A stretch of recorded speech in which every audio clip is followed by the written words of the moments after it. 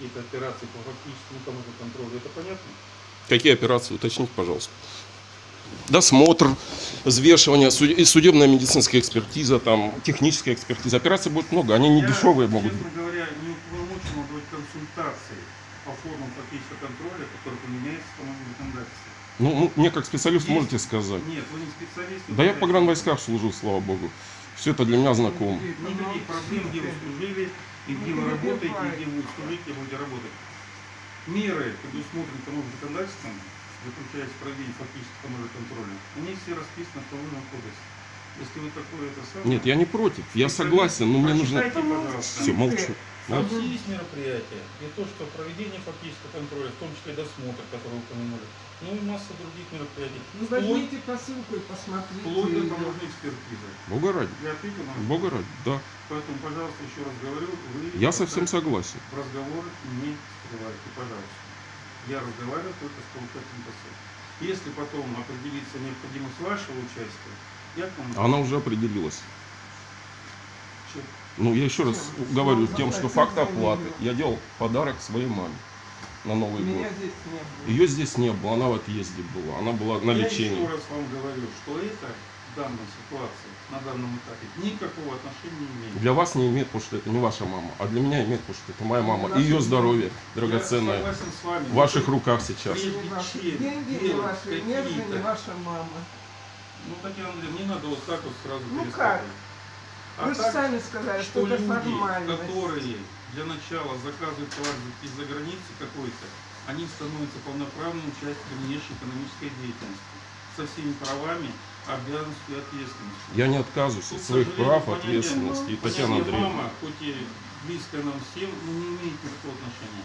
И перед тем, как заказывать товар, вы бы поинтересовались сначала таможенных правил, которые существуют в этой отрасли. Я прекрасно знаю. В Э, числе Дело в чем? Касательно пересылаемых международных почтовых отправлений. Нет, почему-то пропал сопроводительный инвойс таможенный, который должен был быть.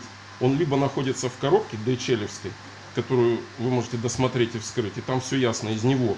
Давайте мы не будем перескакивать. Мы дойдем и до этого момента. У вас, кстати, есть право сделать предварительное, предварительный осмотр вашего товара. В том числе и посмотреть, какие там документы есть, какой комплектность ваш товар и прочее, прочее, прочее. Это все расписано в таможенном законодательстве. Поэтому не будем перескакивать. А не перескакиваю. Для начала, для того, чтобы начали мы таможенное оформление вашего МПО, необходимо вам предоставить комплект документов, необходимый нам. Ну, то, что вы перечислите в силу вот обстоятельств, из-за того, что я заказчик, невозможно в кратчайший срок, это где-то месяц мне надо будет оформлять. Потому что я тоже человек занятый, бегать в банк там.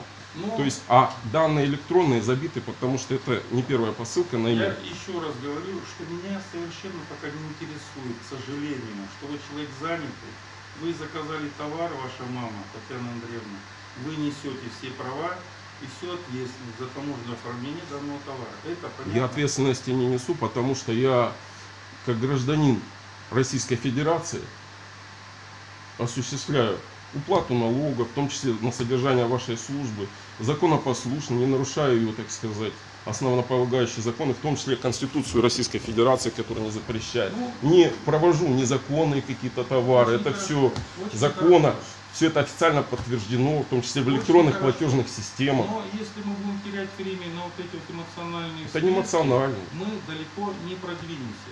Поэтому, пожалуйста, слушайте, какие вам документы вам нужны. А вы их образцы нам можете предоставить Образцы распечатанные, чтобы не было ошибок в оформлении документов? Потому Нет. что человек старый видит плохо, не там запятую поставит, документ оформлен неправильно.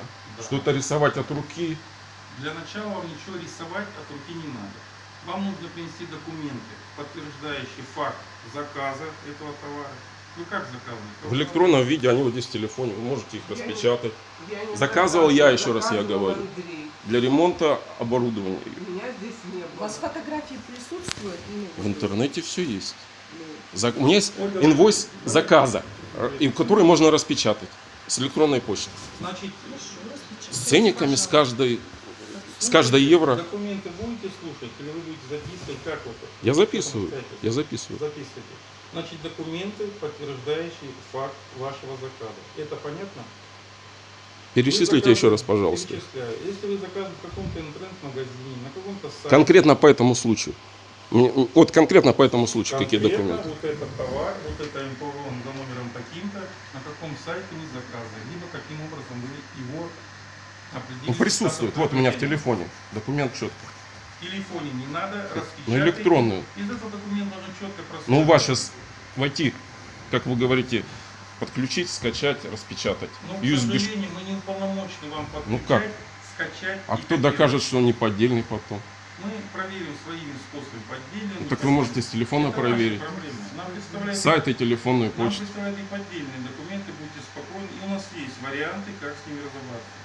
Вы, Вы же понимаете, что сейчас глупо выглядите.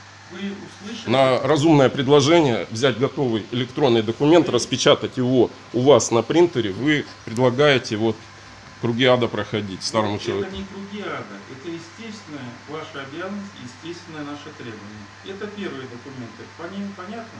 Из этого документа должно свидетельствовать, что такой-то товарищ да, заказал такой-то Ну товар. это ясно, Какой-то не надо это уже говорить. Очень хорошо. Все понятно. Продолжаем дальше. да? Откроем интернет-магазин, распечатаем. и Да. всё.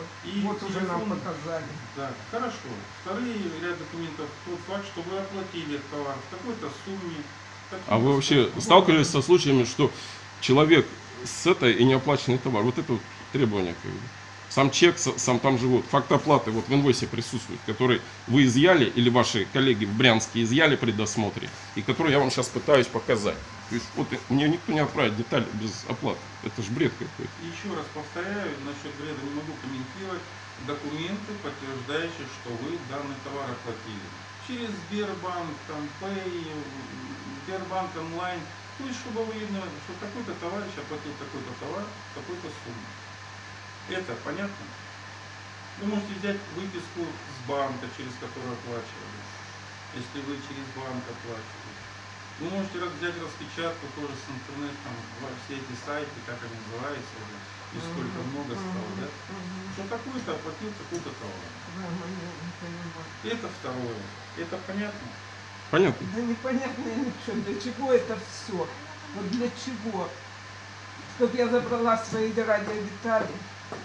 Вы не заберете их, пока не пройдете таможенное А оформление. если я не пройду таможенное оформление, что тогда? Я могу И за 6 отправить евро назад? человек не пройдет таможенное оформление. Тут вариантов много, но я их вам не имею возможности советовать. Если посылка пройдет То есть вы не хотите пойти навстречу людям, да, нуждающимся, так сказать, Не имею полномочий идти на и вы их приговариваете, ну, к проблемам со здоровьем, с нервами и так далее. Спасибо большое. Очень рад был с вами познакомиться. Я постараюсь, конечно, все это сделать.